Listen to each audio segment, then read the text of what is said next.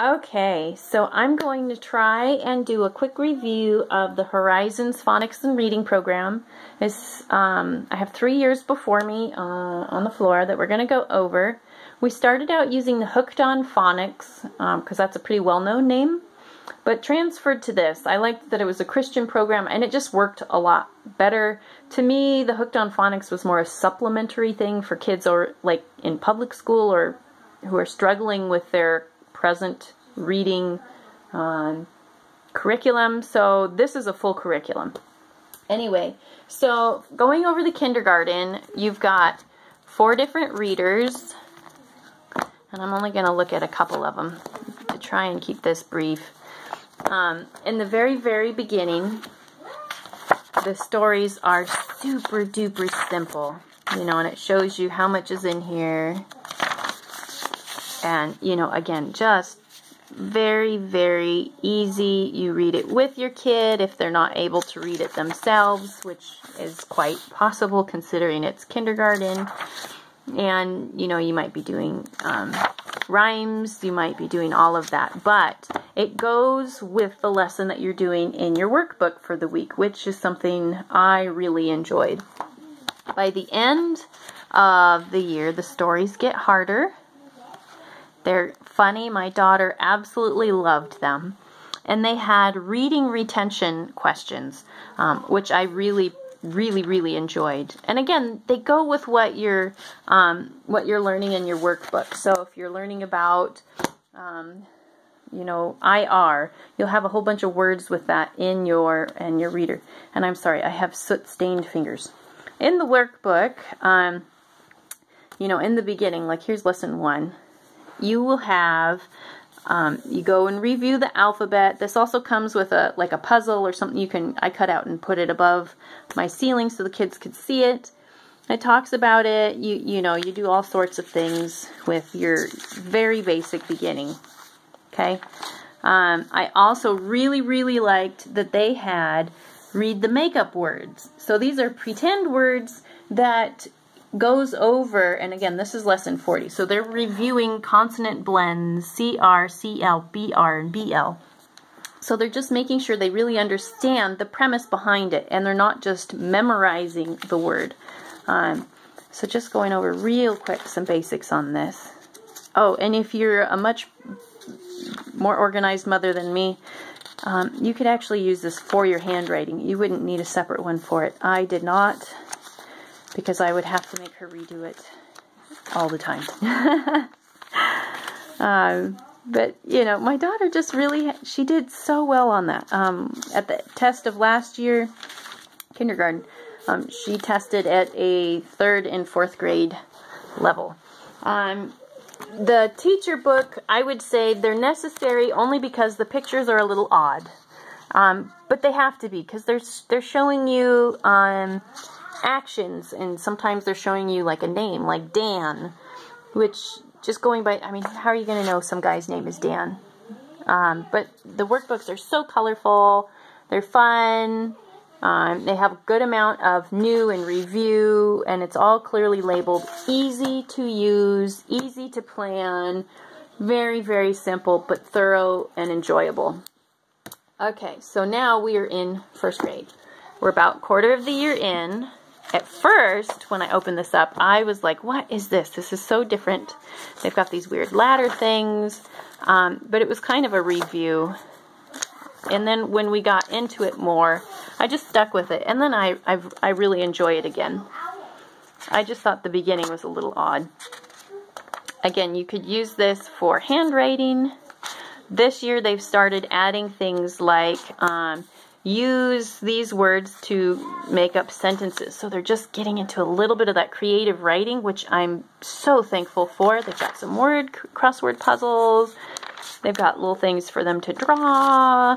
Lots more writing. Um, they, um, I wonder if I, where they are. They also have started doing tests, which I like. See, um, test two. What do you remember? And it's just a review of like all the stuff they have. Um, I like these because if you have to keep a portfolio or whatever, um, it's good just to keep. You don't have to keep the whole workbook, and you can just show your kids' progress, the different kind of things they've covered, and your backside is covered. So, um, I mean, of course, it's also helpful for you to do supplementary work on whatever your child needs.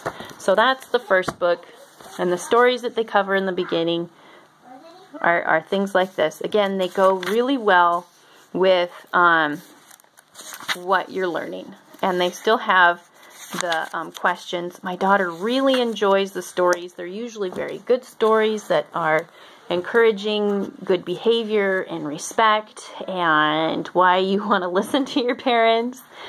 Um, and here's the second one. Just difference as, as they kind of go on. And, and again, you could reuse these for multiple kids. You would just need more workbooks. So that's kind of nice. And then the second, second workbook, again, they'll have, um, you know, write a sentence using each contraction. They go over all sorts of stuff, the creative writing aspect, handwriting. Uh, I, I'm just, I'm very pleased with this. Very, very pleased. And then the second grade. Okay, so of course we haven't used this yet. Um, the one thing I've noticed so far is that the stories, the font is smaller. They're a lot um, more thorough. Some of them, like Robin Crusoe, they're they're more famous writing, so I'm kind of looking forward to that. And they have little tidbits on on the front.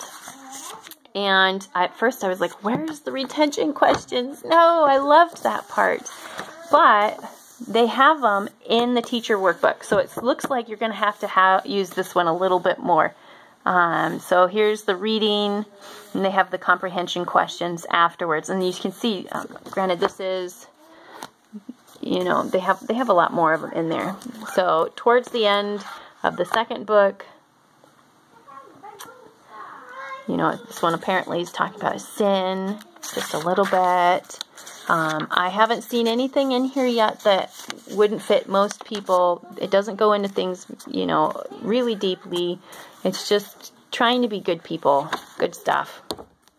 Um, and here's a look at, this is the second workbook, so the more advanced. You know, divide the compound words. They do go into compound words in, um, in, in the first grade as well. But they like to make sure you remember stuff, so it, it has a good bit of learning new and just a little bit of, hey, do you remember that? Oh yeah, I noticed this one started using, um, I liked this. We've talked about it, but I haven't seen anything taught, uh, teaching the antonym, synonym yet. So, I mean, I just, I don't have anything but wonderful things to say about this curriculum so far. Um, I think it's pretty affordable for what you get. It'll take you through the whole year. Um, I like to be um, a little bit more planning intensive on some of my other um, curriculums like science and history and art. Um, so for me to have something that I really trust to do a good job and kind of a no-brainer, I don't even really have to plan anything for this. Um, it, it just it's it's a good curriculum. I highly recommend it. Um, I, I just don't have anything negative to say about it. It goes well together. It teaches your kid. It's fun. It's colorful. It's easy to keep pieces for um, all sorts of stuff. Um, my only thing is I don't know if you will need an additional spelling or not um, with these curriculums. Um, I tend to be a little bit of the kind of person who does more than less. So I've done some of that too because my daughter enjoys it. So um, we don't do a lot of spelling, but we do some. And I haven't found a good curriculum for spelling yet. But she does really good spelling when we're doing her spelling, but when she's doing the creative sentences and stuff, she somehow seems to forget it all. So anyway, um, I hope this has been a helpful review and kind of giving you some ideas for kindergarten through second grade on phonics and reading and possibly handwriting. So thank you so much and have a great day.